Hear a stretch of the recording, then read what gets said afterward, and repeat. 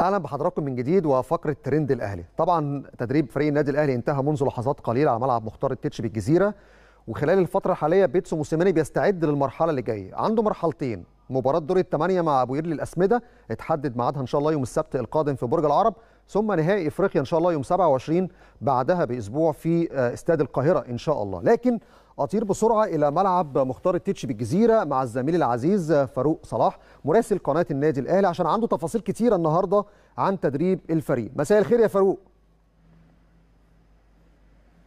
مساء الخير عليك يا محمد. كل التحية ليك وكل التحية لكل مشاهدي ومتابعي شاشة قناة النادي الأهلي في كل مكان. زي ما انت قلت يا محمد بالفعل هي مرحلة مهمة جدا لفريق النادي الأهلي. مباراة الدور الثمانية أمام فريق أبو قير للاسمده في كأس مصر وأيضا الاستعداد للمباراة النهائية أمام نادي الزمالك يوم 27 آه تقدر تقول المباراة النهارده في تفاصيل كتير وفي يعني بعض الأمور اللي نقف عليها ونتكلم عليها. آه مستر بيتسو موسيماني في البداية يا محمد كان ليه محاضرة نظرية مع اللاعبين إن هو بيتكلم مع اللاعبين على أهمية مباراة أبو قير الأسمدة في كأس مصر وإن يعمل عملية فصل تام للاعبين عن المباراة النهائي. ودي من النقاط المهمة جدا اللي مستر بيتسو موسيماني كان حريص إن هو يتكلم مع اللاعبين لعيبة النادي الأهلي خاصة إن في مجموعة موجودة مع المنتخب المصري. كان حريص إن هو إن اللعيبة يكون تركيزها مهم جدا في مباراة أبو قير الأسمدة عدم الاستهانة بالخصم وعدم النظر للوضع اللي وجوده في دوري الدرجة الثانية أو ترتيبه. التركيز كله إنها بطولة من البطولات المهمة للنادي الأهلي. وحس اللاعبين على ضرورة إن إحنا ناخدها خطوة مهمة جدا وتكون دافع للاعبين قبل المباراة. النهائية.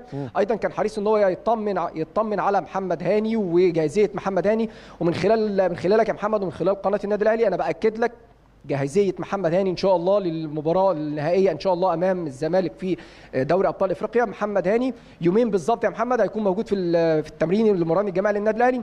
يعني تقدر تقول بصورة مؤكدة محمد هاني موجود مع فريق النادي الأهلي في المران الجماعي عقب مباراة كأس مصر أمام فريق سماد أبو قير. من الأمور أيضا النهاردة سعد سمير بيشارك في المران الجماعي بالتقسيمة. يعني شارك النهاردة في التقسيمة الرئيسية لفريق النادي الأهلي.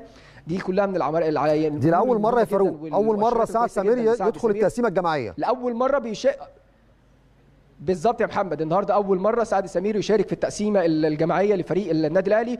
الحالة اللي ظهر عليها سعد سمير أقول لك إن شاء الله إن شاء الله سعد سمير واحد من الإضافات المهمة جدا جدا للنادي الأهلي وواحد من العناصر الأساسية للنادي الأهلي.